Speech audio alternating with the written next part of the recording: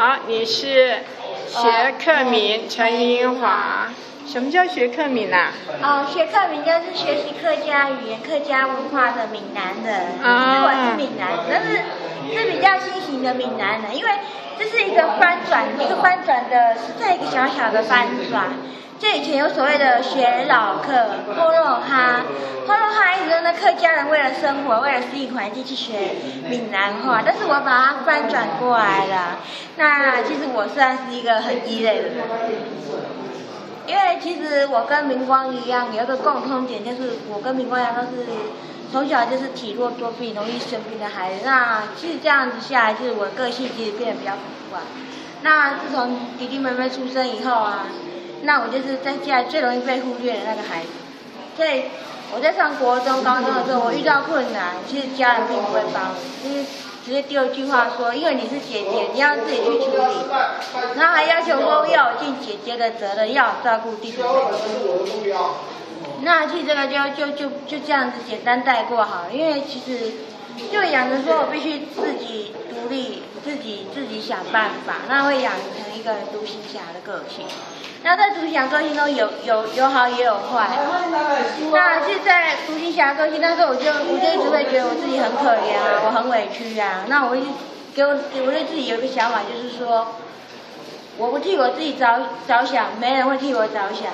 那其实从小到大，我有好吃的什么都是弟弟妹妹的，所以有机会，我就是变成说，如果有机会去抢一些东西的时候，我一定我一定要抢得到。那。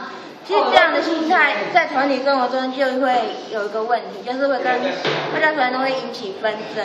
对，那其实刚开始我带着这样情绪进来吃饭的时候，刚开始大家可以忍受我忍受我一点点时间，但忍受几年之后，一定大家会忍受不了的时候，那就是在有一年在台中，我们我们值班去参加台中东海大学的两天一夜的活动里面。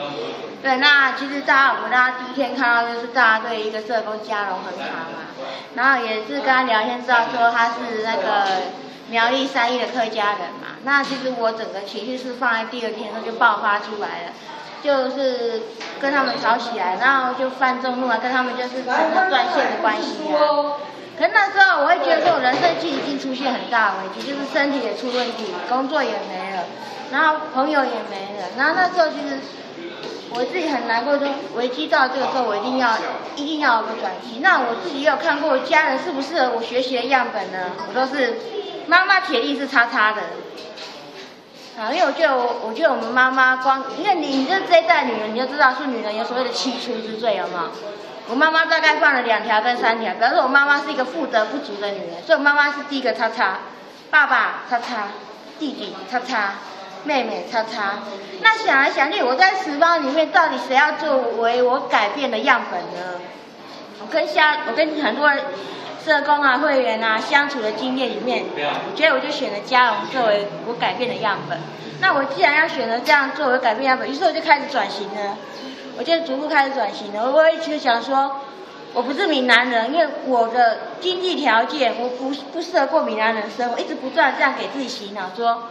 我我只适合过眷村的的生活方式，或者是客家人的生活方式，就是这样过程中是强迫自己觉得自己很痛苦。为什么？因为我就是那一段第一第一年第头半年的时间，我就每天都要给自己这样洗脑，洗脑说我不适合过闽南人生活，我只我适合过客家人的生活，我要像客家人一样勤劳一点，要像客家人一样节俭一点。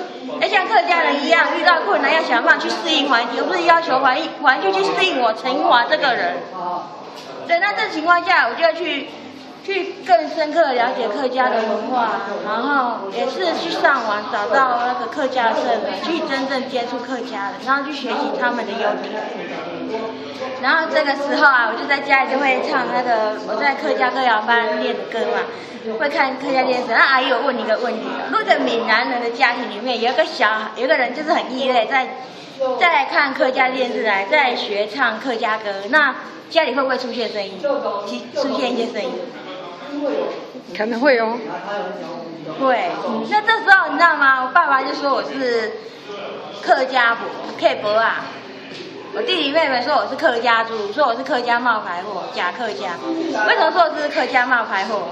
因为我是闽南的血统，不是客家血，那我觉得说血统并不是最重要的，最重要是那个学习到人文精神，这才是最重要的。然后就是就是说我在改变过程中我也很辛苦，那也是会被。会被讲话，但是我我一定要坚持奋发向上，改变自己。那其实我在在我的经验里面，我会觉得说，在我接触客家人、客家社团的经验，我会另外反过来，另外翻转过来讲，就是说，当然希望有人去了解一下、接触一下我们这个，因为我们并不是像外面讲的这样的那么的难听，这样的这么的一无是处。像有的也很精进学习，像我啊，像怡芳啊，像红宇啊。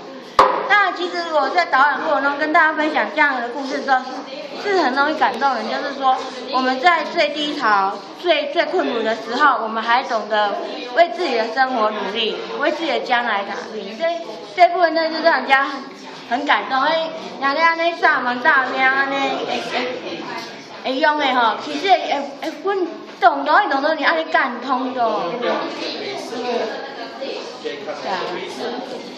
好，谢谢你，嗯，谢谢你跟我分享啊。